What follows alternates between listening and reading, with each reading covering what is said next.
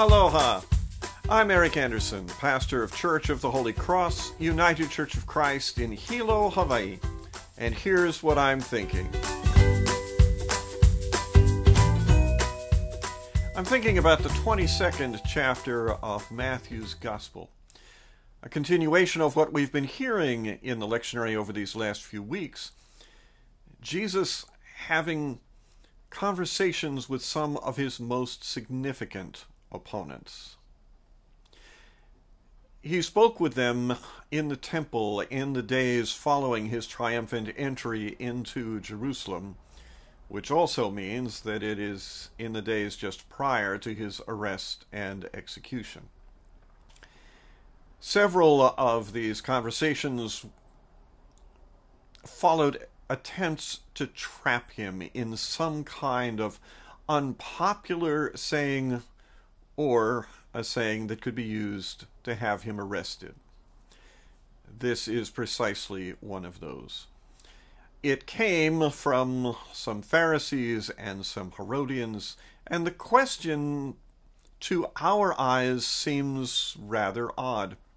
Should you pay taxes to the emperor or not?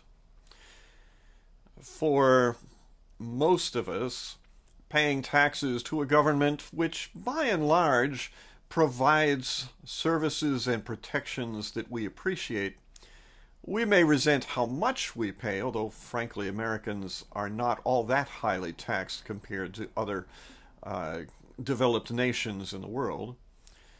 We may com- complain about how much we pay in taxes, but we do understand that there is a role to government and to the contributions of government from citizens. The situation was much different in the first century because people like Jesus, people like the Pharisees and Herodians who asked him this question, they lived in an occupied nation.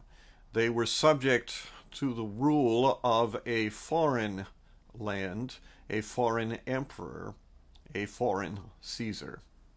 So, was it lawful? That is, was it consistent with the faith of Israel to pay taxes to a foreign overlord?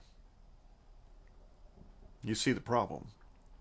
Because, of course, if you said no, it is not lawful, well, then the Roman soldiers might get interested. And if he said, yes, it is lawful, well, the many people who resented living under foreign occupation and domination, they might get upset, and their unhappiness could easily translate into violence. It's quite a good trap. Jesus said, Whose picture is on the coin? Well, it was Caesar's.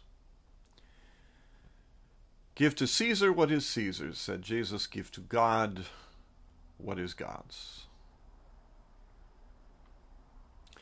It seems like we've spent the centuries in between debating on what, in fact, Caesar or government is entitled to. The answers to the question shift an awful lot depending on what kind of government is in place. The striking thing to me is that the answer to what is God's is both easier and more challenging.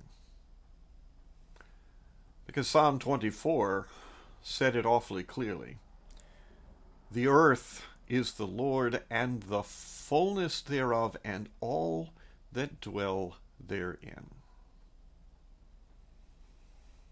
Give to God what is God's Give to God everything. Give to God industry and loyalty. Give to God integrity and righteousness. Give to God charity and compassion.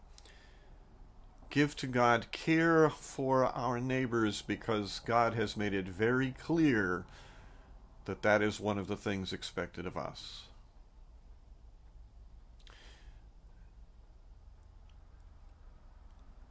I, I can't omit the truth that within just two or three days of saying this, Jesus gave everything, gave his life itself.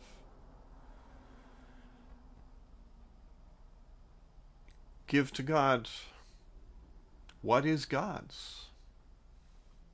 Give to God your whole heart. That's what I'm thinking. I'm curious to hear what you're thinking. Send me an email or leave me your thoughts in the comments section below. I'd love to hear from you. From Church of the Holy Cross, UCC in Hilo, Hawaii, that's what I'm thinking.